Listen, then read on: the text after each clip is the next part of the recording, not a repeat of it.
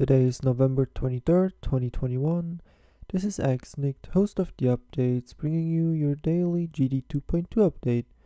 There is no news about GD 2.2 today, and that has been your daily GD 2.2 update for November 23rd, 2021.